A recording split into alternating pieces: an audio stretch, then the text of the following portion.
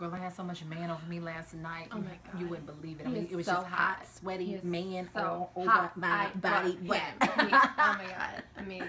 Oh my God, I completely understand what you girls are talking about, Yeah. yeah. Like the other night, I was out with this dude. Mhm. I ate the hell out of his penis. You feel me? It was so crazy. And then like I just got up all in her testicle, t- uh, his test testicles, testicles, his testicles. Yeah, I was all up in that. You know, Yeah. I like men.